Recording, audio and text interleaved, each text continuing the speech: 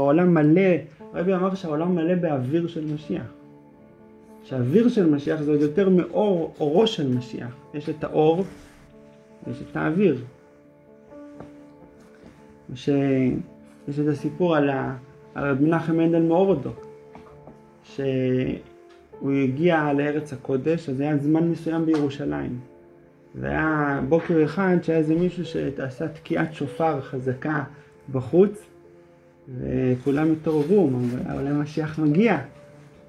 אז מנחם מנדל מאורדוק הלך לחלון, והוא פתח את החלון, והוא שאף אוויר, והוא אמר לו, המשיח, המשיח עוד לא הגיע. זה לא היה אוויר של משיח.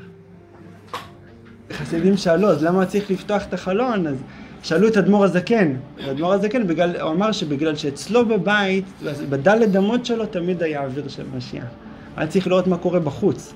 אם בחוץ גם יש אוויר של משיח, אז באמת משיח. מה שהרבי אמר, שיש אוויר של משיח, ודאי שהוא לא התכוון לדלת אמות שלו.